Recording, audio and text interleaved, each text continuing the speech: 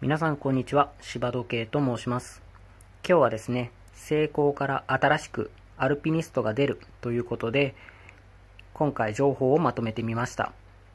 今回はですね私の持っている大好きな旧型のアルピニストと比較してどんなところが新しくなっているのか違っているのかっていうのをまとめてみました。あくまでもですね時計好きの素人としての情報になりますので補足であったり修正がありましたら、ぜひコメントをお願いいたします。では始めていきます。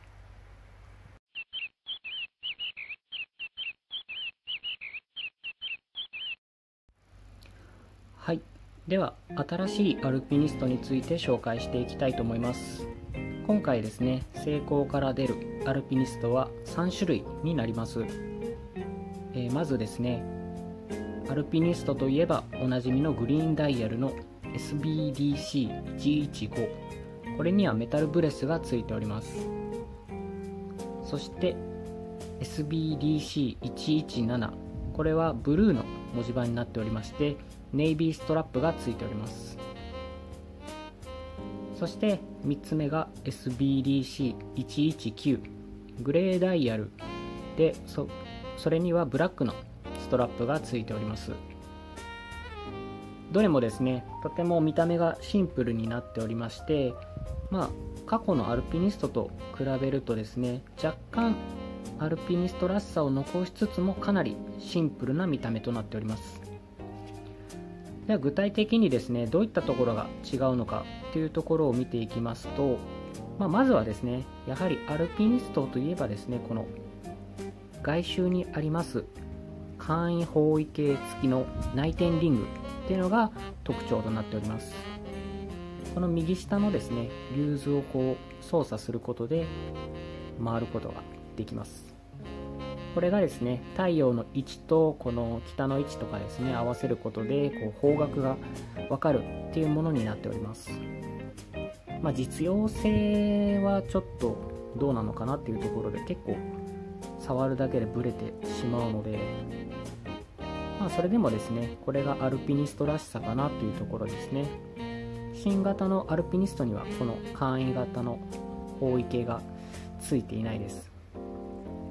でなおかつですね、まあ、堅牢性のあるアルピニストですのでこのリューズガードっていうのがついているんですけども新型にはついていないです。まあ、それゆえですね簡易方位系がついていないのでこのリューズってのも一つになっています。じゃあ新しいアルピニストにはどういうものがついてるかっていうとこの方位系の代わりにですね、えー、レイルウェイトラックっていうんですかね。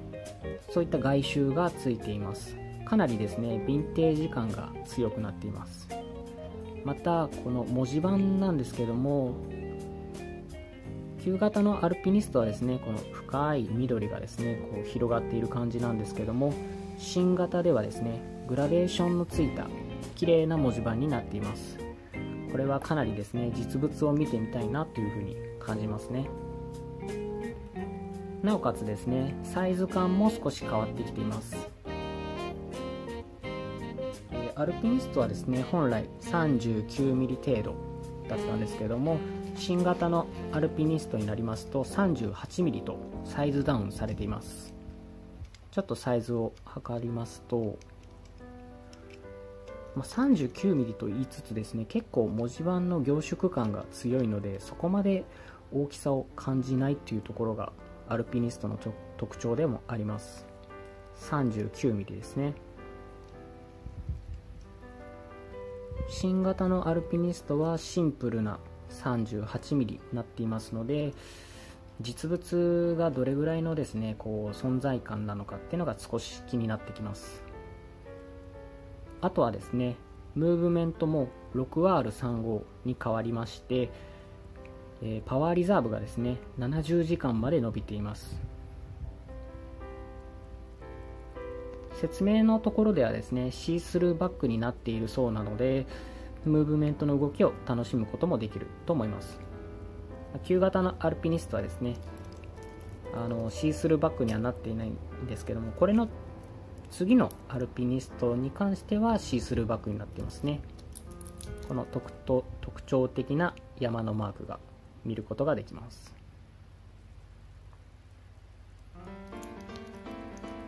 それで新型のアルピニストに関して言うと厚みが 12.9mm と結構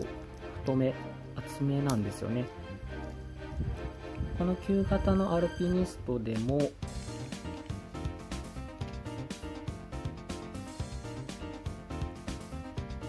12.513近いですけどもこれと同じぐらいの厚みがあるようですね。一応ですね説明欄にはカーブサファイアという風になっていたのでこれはフラットなサファイアガラスなんですけども少しこう丸みを帯びているので厚みが出ているのかもしれないですね。なおかつ内面無反射コーティングが施されているのでとても視認性には優れているのではないかと思います。旧型のアルピニストにはこの無反射コーティングが施されていないので少しですね外では見づらいというところが出てきます。その点を克服してるっていうのはとても嬉しいと思いますね。でアルピニストっぽさを残してるっていう話をしたのはあのこのちょっとルーペを近づけてアルピニストの特徴的なですねこのロゴの近くのこの文字ですね。1224680とこう埋め込まれてるっていうんですかね。こういう風にちょっと立体的になっているところがやっぱ特徴的です。これがですねこう光の反射で綺麗に輝いて視認性にも優れているというのが特徴です。ただですね新型のアルピニストは結構インスタグラムとかでもですね写真が載っているんですけどもそれを見る限りだとどうやら数字の部分はプリントになっているようです。針とインデックスの部分にはヤコがついている風についてるっていう風になっているんですけどもおそらくこのアルピニストと同じように外周のこのドットの部分にヤコがついているんじゃないかなという風に思います。なのでですね、まあ、あのアルピニストっぽさを残しつつこうヴィンテージ寄りになった新作っていうところが強いのかもしれないですね。はい。ちなみにですね、えー、発売が2020年の10月9日となっておりましてすでに予約が受け付けております。まあ、私はやはりですねあのグリーンのアルピニストも気になるところではあるんですけどもブルーの SBDC117 も結構気になっています。以前ですねあのホディンキ限定で出た、えー、SPB089 の青いアルピニストがですねすごくもう海外でしか発売してなかったみたいで結構欲しかったんですけどもすごいかっこいいですよねあれ。なので今回の新作のブルーの文字盤は結構あのモデルに近いのかなっていう風に感じました。でまあちょっと関係ないんですけどもいろいろ時計を見ていて思ったことが新作のアルピニストは結構あのハミルトンのカーキフィールドでしたっけね。になんかちょっと近い印象を受けました。まあ、グラデーション文字盤というか少し文字盤が特徴的であったりこうヴィンテージ感が強いっていうところで言うと結構そのモデルにちょっと似ているっていう風に感じました、まあ、お値段もですね結構高めに設定しているので、まあ、ポンポンと買えるものではないとは思うんですけどもアルピニスト好きとしてはやはり注目せざるを得ないかなというふうに感じます。